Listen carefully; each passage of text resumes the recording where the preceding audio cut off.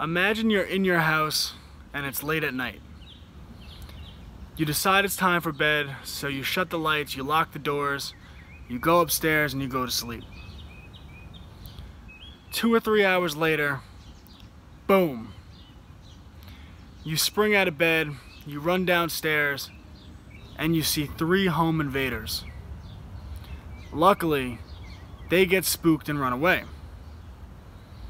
But one of them, in his panic, trips over his own feet, hits his head, and unfortunately dies. So you call the cops, you wait for them to arrive, you tell them what happened.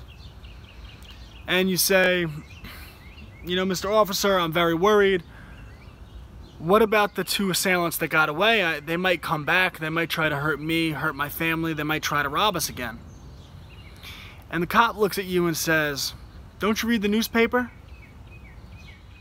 The local politician who just got elected ran on a platform that they were no longer going to pursue prosecution against people who commit home invasions. So we're not going to even investigate who broke into your house in the first place. And you look at the officer and say, but if you announce to potential criminals that you're not going to prosecute home invaders you're not even going to investigate, aren't you incentivizing them to break into people's homes and steal their property? And the officer just looks at you and says, well, yeah, since the new politician took office, there's been a huge uptick in home invasions. And you say, yeah, of course, well, that's what the incentive is. Why wouldn't criminals break into people's homes? And then the officer looks at you and says, but when one of the home invaders was running away and he fell, hit his head and died on your property, well, under the new laws, you're responsible. And you say, how am I responsible? I followed the law. I was in my house, my property. I didn't violate anyone else's rights. The politicians incentivized criminals to break into my home and as a result of that incentive, when the criminals ran away, and unfortunately one of them hit his head and died, um, well, that only happened because the politicians created a climate um, which incentivized the home invasions in the first place. Well, today, we saw many people march in the Families Belong Together March. And it's really amazing how many people will take agency away from themselves and point their fingers at other people for things they're actually responsible for. These people are outraged over families being separated from their you know, children being separated from their parents at the southern border. But there's no self-awareness that, well, why these people are being separated from their children in the first place. For the longest time in America, politicians, left-wing politicians, supported by people who vote for them, have implemented a policy of open borders, they've advertised to people all over South America that the borders are wide open and if you get to America, those left-wing politicians will, at the point of a gun, understand that government is a monopoly over the use of force.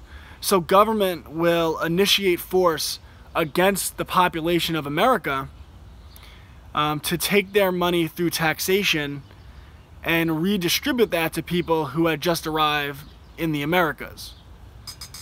Taxation is theft. Well, of course, if you're in South America, you're going to attempt to get from South America to America. The incentive um, created by the politicians and the people that support them is to literally risk everything in order to get to America because, um, unfortunately, because of globalization, um, and a lot of corruption and lack of basic human rights, individual liberty, uh, people in South America are unable to get ahead. They're very poor. So if you tell them that the American border is wide open and that just by coming to America without even working, they can make more money, be given more money than they could ever make in their home country, well, they'd be crazy not to come to America. But the thing is, the Mexican side of the southern border, and this is well known, is controlled by the drug cartels who prey on these potential victims, very vulnerable people attempting to get to America. So, in order to get across this dangerous land, well, people have to pay human smugglers. They're called coyotes. They pay them large amounts of money, um, and often they don't have enough money to send their whole family. So, being loving parents that they are, they pay coyotes to send their children, and the coyotes actually pretend, pretend that they're the parents of these children. And along the way, um, because it's such a dangerous journey, over 80% of girls, women that make this journey with the coyotes are raped along the way. And many of the children who um, their parents were promised will be, you know, brought to America and they'll be able to achieve some type of so-called prosperity, um, they're actually given away to these coyotes who are human sex traffickers. So the parents are permanently separated from their children who are raped, who are sold into a life of human sex trafficking, forced prostitution. Um, many of them are even made into slaves. So the situation at the border is very tricky, and as a result, um, the people of America, as a result of this incentive, um, that created this terrible situation in the first place that leads to people being separated from their parents. Um, and as a result of, because of this incentive, the American people being robbed. Understand that um, the welfare state is the government promising that they will violate people's basic property rights, um, rob them at the point of a gun, because if people resist, they'll be thrown in a prison cell and redistribute that money. So as a result, people push back. They said, no, we want our borders secured. Well, if you secure the borders, if you just stop letting people just come in, which is a clear violation of property rights, um, not to mention that people have a right to protect their culture. We'll get into that a little later. Well, how do you do that? You have to arrest people, and you can leave them with their so-called parents, but are their parents coyotes? There's no paperwork. Are you leaving them with human sex traffickers? We all generally agree that it's a bad idea to put children in prisons with adults. So the incentive of open borders in combination with the welfare state, um, that has endangered all of these children to the point where the safest option is to separate them from the adults they arrive with, figure out who their parents actually are, if they came with their parents, um, and then send them back to their home countries. And of course, if we're talking about separating parents from their children, um, you have to criminally prosecute people who try to cr cross the border illegally because well, many of the people are these coyotes, human sex traffickers. Many of these people are MS-13 gang members. Uh, many of these people are the drug cartels bringing drugs and violence into America. Well, Kate Steinle, she was separated from her parents, right? She was murdered. And many um, people are victims of crime from illegal immigrants who, you know, they're not the illegal immigrants that are advertised as propaganda. They're gang members and they're um, members of drug cartels. Well, if you leave the borders open, how do you distinguish those people from people who are just trying to, you know, escape South America? So the only logical response is to criminally prosecute. So it's really the people that are voting for open borders who are supporting these left-wing politicians who want to bring more people over from the third world because, well, that'll give them more votes. That's what this is all about. This is about money, power, and corruption. So, it's really the people that incentivize people from South America to take this dangerous journey that are responsible for parents being separated from their children. I mean, the people who want the border secured are the same people who, I mean, it's the same as the people who just were in their house. They went to bed, locked their doors, and in the middle of the night, there was a home invader that broke into their home, could have killed their wife, could have killed their children, um, because those home invaders were incentivized. Those home invaders were incentivized by that new politician saying, don't worry, if you break into someone's house and steal their property, potentially murder them and their family, um, you won't be criminally prosecuted. Well, it's the same thing at the southern border. All of these people who are human traffickers, who pedophiles, who sell people into a life of pedophilia, um, who sell people into a life of prostitution, who rape young women and separate them from their parents permanently trying to cross the border um, all these people, this is happening because they people have been incentivized to take that risk. So it's the very people who are marching saying that children shouldn't be separated from their parents who are actually responsible for children being separated from their parents. And these same people, I mean, they're chanting that ICE should be abolished. Well, isn't that only if you abolish ICE, aren't you further incentivizing?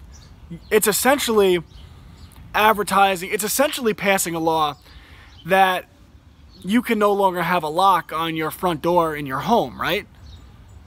And if that law passed and criminals knew that people no longer had locks on their front door, and that if you broke into someone's house, well, you wouldn't be criminally prosecuted, there'd be a huge uptick in home invasions. Well, abolishing ICE is basically saying there's no lock on the American, you know, the metaphorical door that is the American southern border.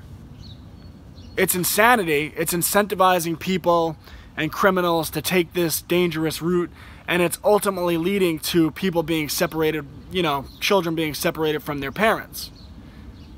So the very people that are marching are the people that are responsible for children being separated from their parents, yet they are pointing their fingers at law abiding citizens, people who want to end the incentive. Because if you build the wall and you have the American military and ICE at the southern border, and criminals know that they will be prosecuted to the full extent of the law, well, people, they won't make the journey from South America to America anymore because it's been disincentivized, which will ultimately lead to no children being separated from their parents.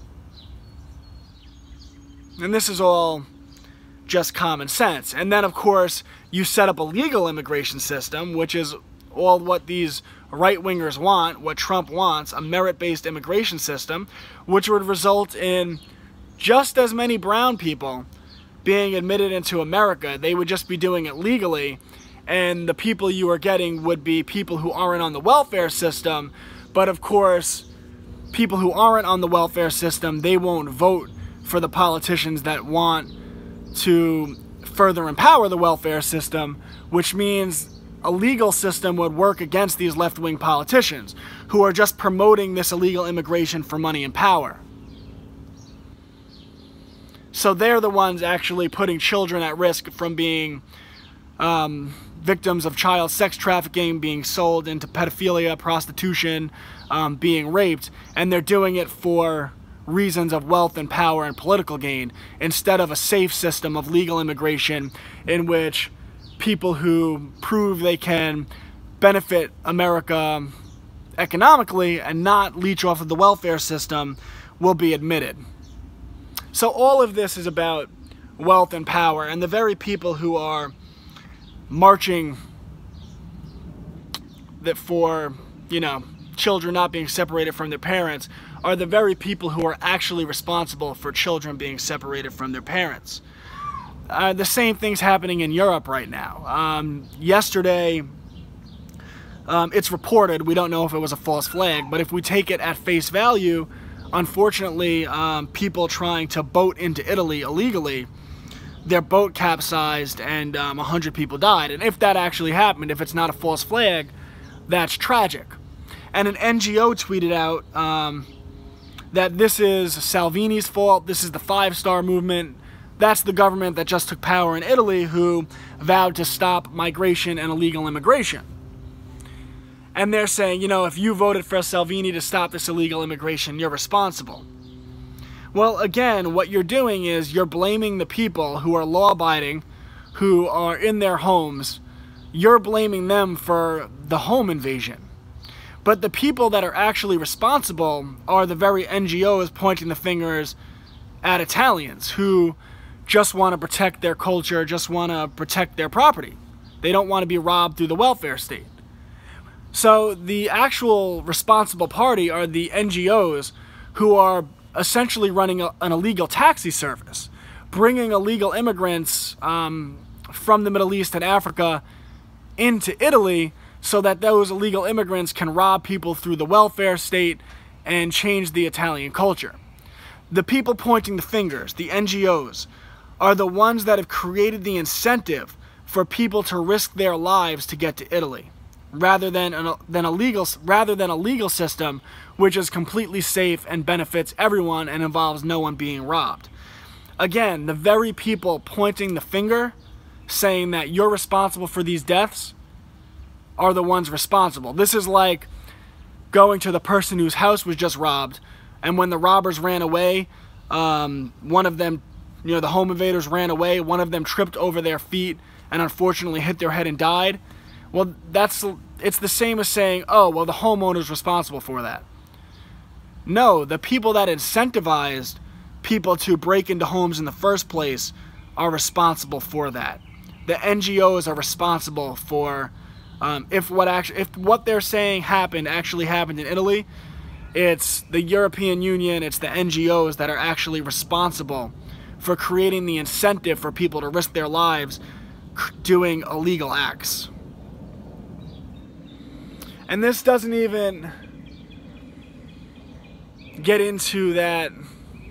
Well, you know what? I'm going to call it a video on that. So if you are marching, marching for children to be kept with their parents, yet you support the welfare state, yet you support wide open borders, you support the abolishment of ICE. You're against the building of a wall in the southern border. Look in the mirror because you're actually the one responsible for children being victimized and children being separated from their parents.